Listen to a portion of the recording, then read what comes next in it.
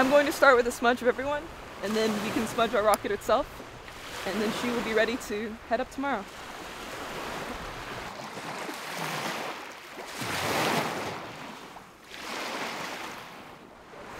We have put so much time into you and a lot of love and care. We know that you'll go out with good spirits and you'll say hello to the sky up there and you'll come back down to us and light the path for so many more like you to come.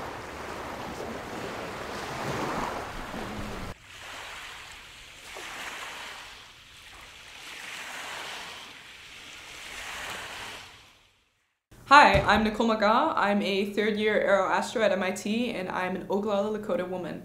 I was always really attached to space as a kid, looking at the night sky and spending a lot of time with my brother, just checking out every meteor shower.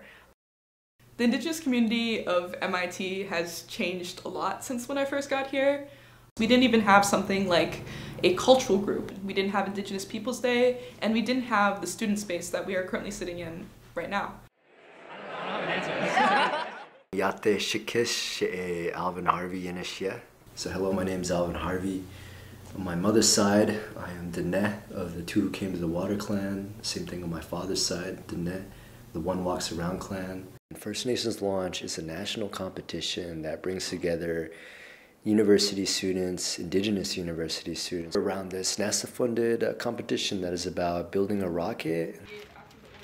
Me and my friend and collaborator, Alvin Harvey, wanted to start this team because we're both um, Indigenous Aeroastro students. Just a little bit. I was really, really excited to be involved in a technical project that celebrated my identity as an Indigenous person. How wiggly are these? They're not gonna, they are gonna rotate when you do that. There's a lot of steps between starting your rocket and actually seeing it fly up into the sky. Everything had to be made in-house.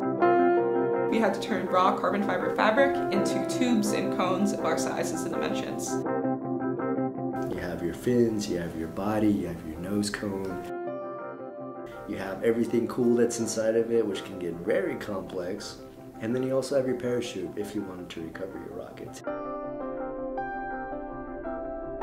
My name is Peyton. I'm a first year, I'm Passamaquoddy. Rocketry is something that I thought was cool, but like I didn't really think I was gonna be joining a rocket team. And then I heard there's like an all indigenous like build team starting. I was like, yeah, it's a good like cool way to connect with the community here. That's a 1S, it's one. This is so cute. I think Indigenous engineering is all about relationality and intentionality. The way that we come together as a community is done through our understanding of relationality and being just good relatives. And we come together and we ask ourselves, what does it mean to be Indigenous and doing this type of work too? At first, I thought the hardest part was getting the body tubes off the mandrels. Want to like slide it off, but it's just so like friction and like suctioned on there. I thought that was the hardest part. Once we had figured out, it was fine. The next hardest part was definitely the nose cone. The nose cone was the worst part of the rocket, and I never want to do that again, honestly. The nose cone is like a really unique shape. It's not quite, it's not actually a perfect cone. And because of that, creating mold and forming fabric to the mold is like pretty difficult. That was a disaster, honestly. We ended up using uh, latex sleeves, I'll call them, to actually wrap over the nose cone themselves. What, what are these latex sleeves? Condoms. We use condoms on the nose cone rocket. You're kind of like, we're building a rocket, that's like serious business, but like a lot of time, like, oh, it's fine actually, like, it'll fly. Like, for example, our fins, we have three of them, so they're supposed to be, you know, 120 degrees between each of them but they ended up being it was like 130 115 and 115 and we were like hmm this is really bad. Like should we redo it? And then we were kind of like nah it'll be fine. All right give me up.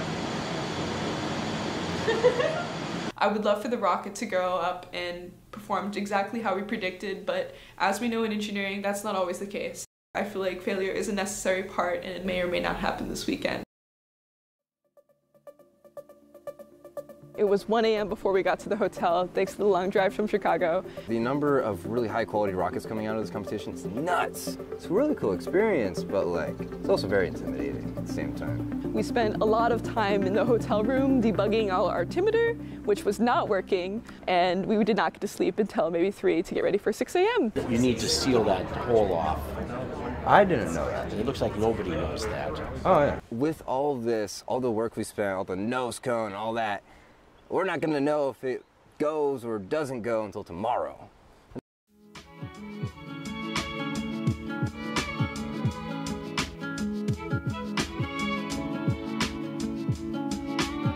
Good morning.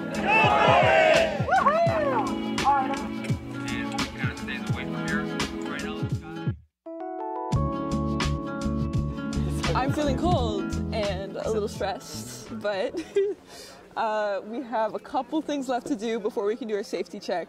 And the rain is coming in at like an hour and a half from now. Those clouds on the horizon are looking ominous, and we really want to launch before then.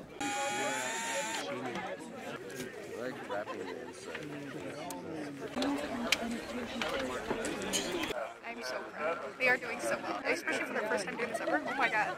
My first time ever was an epic fail, so. Looking good. All of our checks went good. We went through the whole safety checklist, and yeah, it should be exciting. Taking a journey to the stars and the sky is a very indigenous concept, and it's something that's very close to us and all of our stories. To visit Father Sky in that way and go with respect and try to find out new things and carry with it our hopes and send our good wishes. And I think indigenous people are drawn to aerospace for that fact. I think Western rocketry is very hesitant to commit to the heart of what we're doing. People are very hesitant to do anything besides talk about the economic qualities of aerospace.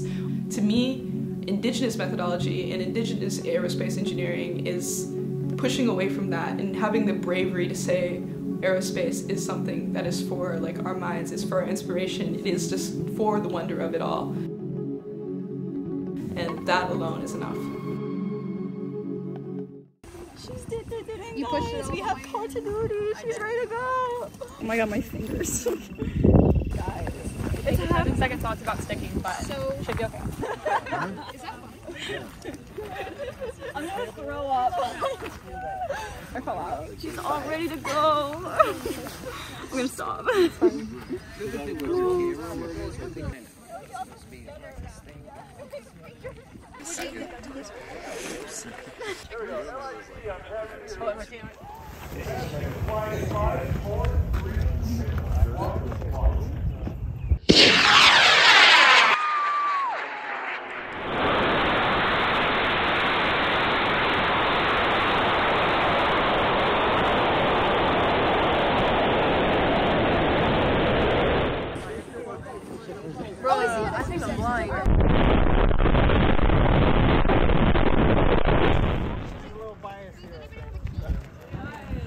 Phenomenal flight, guys.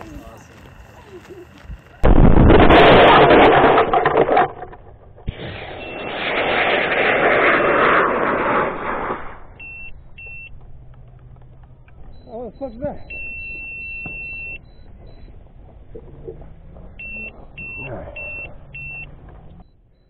It fucking worked! Hell yeah! That's fucking phenomenal. Yo, Alrighty. that was literally perfect. A little high. We went a little high. Okay, it was 4,232 feet. Okay. A little high. We went a little high. Turn off the key. Turn it off.